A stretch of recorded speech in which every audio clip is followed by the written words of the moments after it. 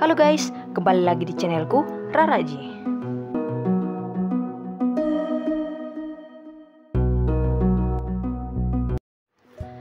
Robin Carpenter terletak di area pegunungan di utara kota Pelikan.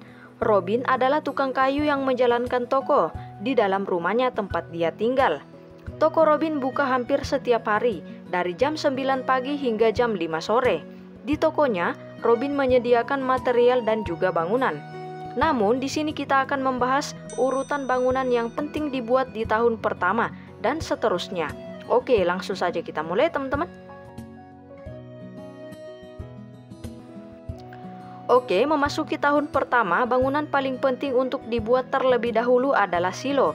Ya, bangunan ini berfungsi menampung jerami untuk pakan ternakmu nanti ketika kamu sudah memiliki kandang ayam. Bisa dibuat dengan gold sebanyak 100 dan material lain seperti 100 buah batu, 10 tanah liat, dan 5 buah koper bar.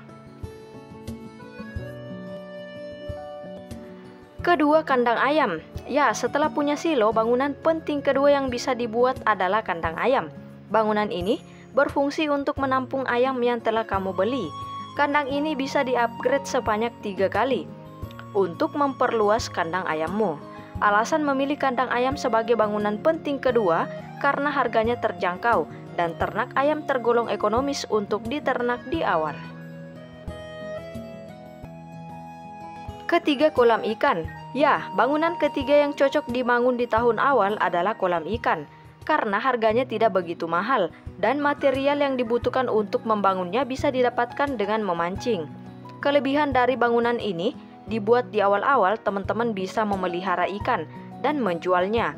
Selain itu, banyak hadiah acak yang diberikan ikan ketika jumlahnya semakin banyak di kolam. Keempat, kandang kuda. Ya, setelah teman-teman punya cukup modal, kamu bisa membuat bangunan kandang kuda. Bangunan ini bisa membantumu untuk bekerja di ladang, karena kamu akan mendapatkan kuda gratis, sehingga kamu bisa menunggang kuda tanpa jalan kaki lagi.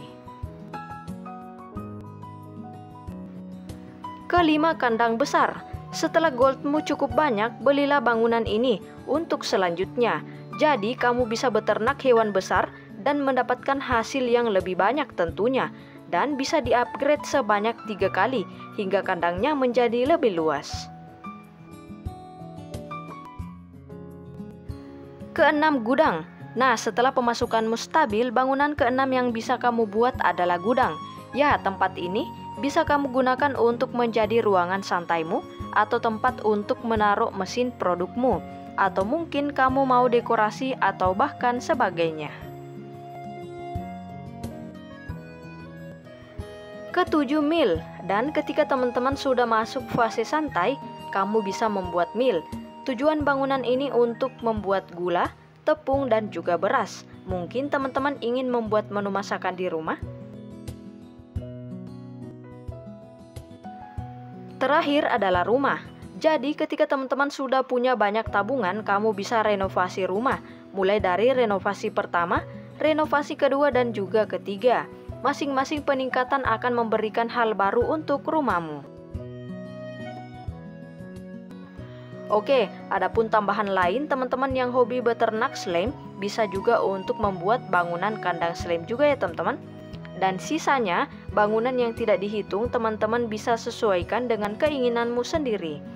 Nah, itu tadi informasi mengenai urutan bangunan yang penting dibuat di tahun pertama dan seterusnya. Oke guys, mungkin itu saja yang bisa aku bagikan di videoku kali ini. Tetap ikuti channelku untuk mendapatkan info-info menarik tentang game Stardew Valley. Thank you.